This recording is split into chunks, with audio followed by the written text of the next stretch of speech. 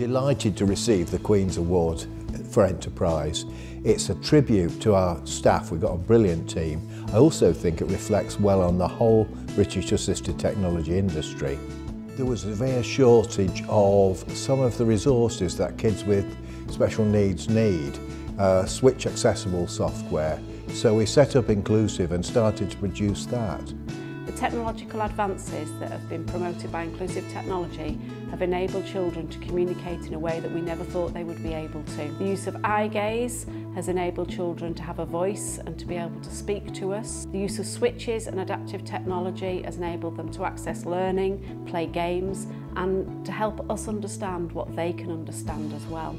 Turning a corner now with new technologies with online resources, with eye gaze technology, face recognition. The future's going to be really great. We're going to be able to help children with special needs even more than we have over the last 30 years. I'm looking forward to it.